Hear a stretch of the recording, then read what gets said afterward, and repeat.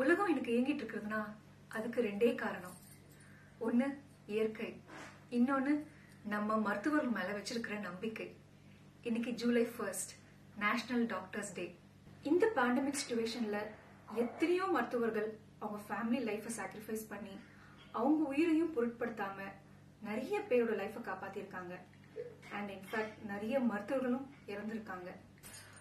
On this day let's take a moment to thank each and every one of them and promise to keep ourselves and everyone around us safe in this pandemic situation. So I celebrate this special day by gifting Lotte Choco Pie to one of the doctors I know personally.